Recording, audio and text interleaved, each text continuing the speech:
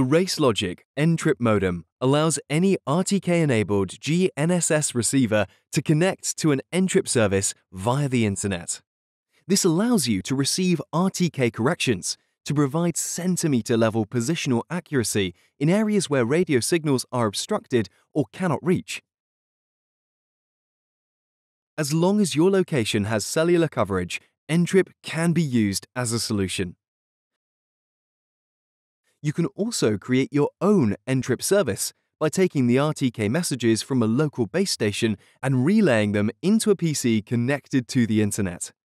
This means you only have to share network access between your PC and N-Trip modem to gain free RTK correctional messages on your GPS-enabled data logger.